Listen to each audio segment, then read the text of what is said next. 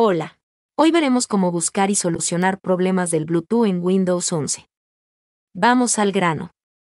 Copia este texto, lo dejo en la descripción del video. Usa el buscador para encontrar la función ejecutar del sistema operativo. Pega el comando en cuadro de texto. En opciones avanzadas puedes activar que corrija automáticamente los problemas encontrados. Dele a siguiente para comenzar el proceso.